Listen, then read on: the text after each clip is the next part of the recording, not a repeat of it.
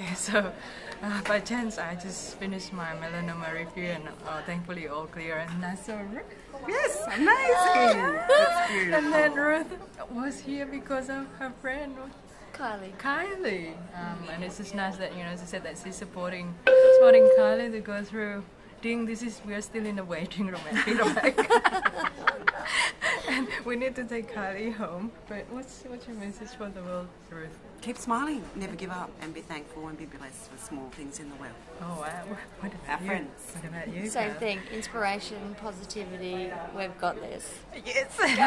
and this, this, these two, they've gone through uh, breast cancer. And yeah. And I'm getting new boobs apparently in 12 months. Oh, wow.